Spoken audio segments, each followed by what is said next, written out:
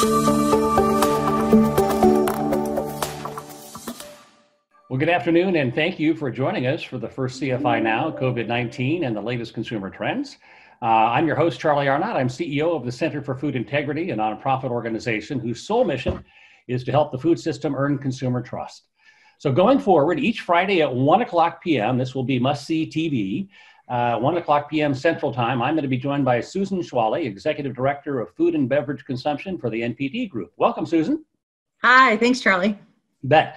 And for those of you who are not familiar, NPD Group is a leading market research and consumer insights company that each and every week releases research on market trends. That's the focus of CFI Now, uh, keeping you on top of weekly consumer research in the food industry in this rapidly changing environment. Susan is also a founding member of the new CFI Trust Insights Council, uh, a group of consumer insights experts and social scientists who explore emerging trends to provide insights to inform strategy for the food system. And you will be hearing more about and seeing more from the CFI Consumer Trust Insights Council in the not too distant future. All right, so Susan, let's get the ball rolling. Tell us what you are seeing this week.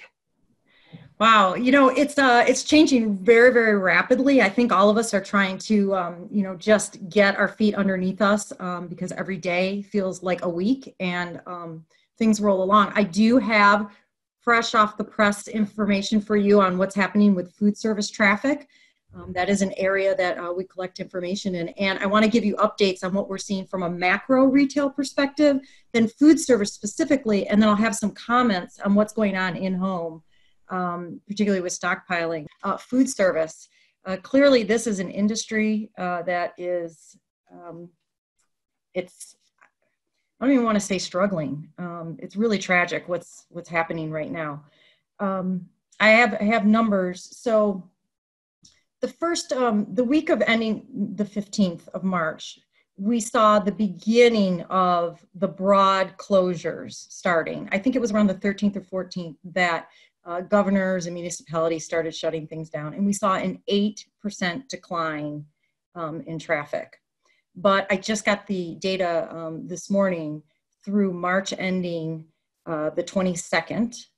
And what we're seeing now is a much more um, dire picture. So, total food service, this is commercial food service traffic, is down 36%. Wow. So, there's 36% fewer trips going on. Now, that's delivery that's on premise. We know that that's mostly because of on premise, right? Um, QSR is the lion's share of commercial food service, so they're down 34%. But when we talk about the full service restaurants, um, our casual dining, our fine dining, the mid scale, um, there's, there's a lot of hurt going on there. Full service restaurants are down 71%. We would expect that there would be more delivery as there's less on premise dining. We, we saw that very clearly in China. China is a whole different capacity um, for digital ordering and delivery than the United States has. So um, it's a mixed bag.